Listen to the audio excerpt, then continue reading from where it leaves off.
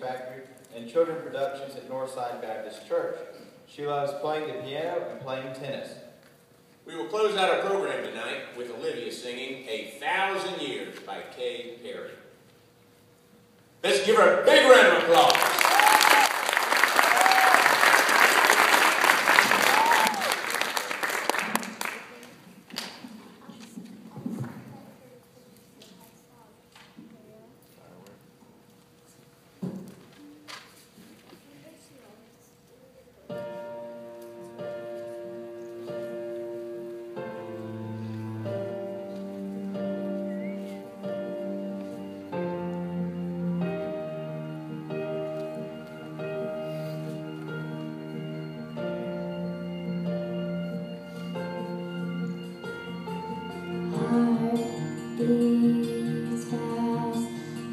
Thursday.